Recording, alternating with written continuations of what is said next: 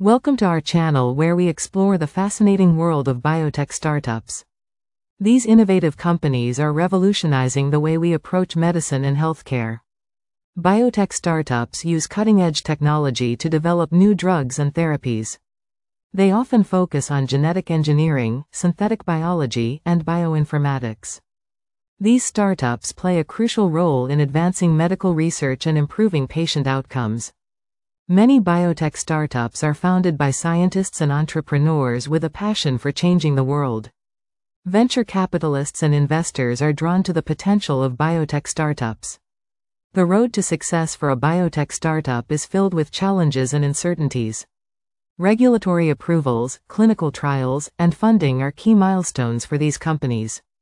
Success stories show the impact biotech startups can have on people's lives.